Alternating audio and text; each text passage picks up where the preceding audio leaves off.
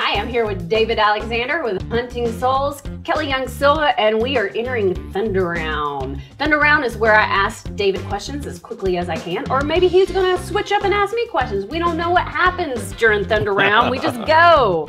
So, uh, David, what is Hunting Souls? Uh, Hunting Souls is a horror thriller, and it is scary as hell. Yeah, so scary. and you play who? I play Bob, who who is is- Mike's boss.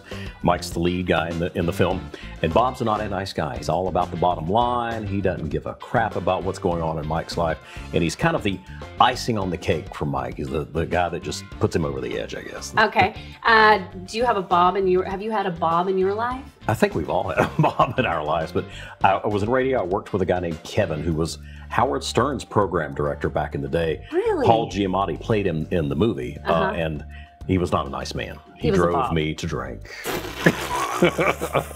which I still do to this day. Well, at least you commit. Yeah, exactly. Um, what uh, was it like shooting during the pandemic? It was weird. This was, I I think, the second thing I booked after things opened back up. And uh, well, technically, I think it was the first thing I booked, then we had a delay because of COVID. Right. And then we finally shot. But it was weird being on set that first day, uh, taking off the mask when the makeup artist came and got in my face. I was like, you know what? You know, because Yeah. I hadn't had anybody that close to me Yeah. in, you know, a year. Things were still really new. Yeah, we were just opening up back then. Yeah, yeah. Uh, difference between film and TV. Uh, film, you, you kind of are allowed to simmer on it a little bit more. It's a little bit of a slower pace, whereas TV, they're they're knocking out an, like a, an episodic every you know, in ten days, so it's a little bit more fast paced. Things change on the fly a lot more than they do in film. I think. Right. What was it like working with a foreign director? Uh, it's pretty much the same as working with a, an American director, uh, just with an accent. and occasionally, I'd have to be like, "What?"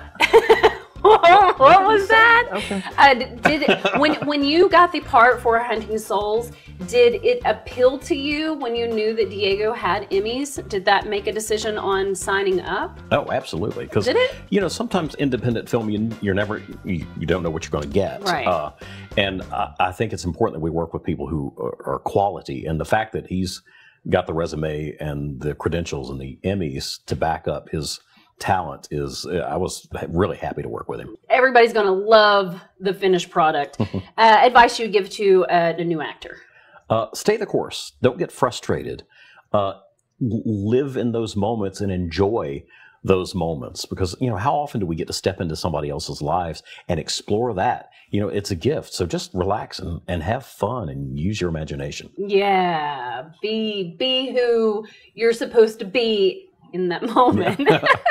now for you what was it like uh, working with your husband on this film when we're under that much stress, we just both go into complete work mode, and it's more like, um, you know, we just support each other in it, but it's not really like we're a couple in those moments. yeah yeah just kind of, I don't know. plus it you just got works. had- a baby all in the whole mix too. And we had a baby. Yeah. Oh yeah. Whoa. Yeah, that was crazy. is diego going to miss this emmy Oh, yeah, when he's I got take plenty. it Take with me I'm Go, Bye.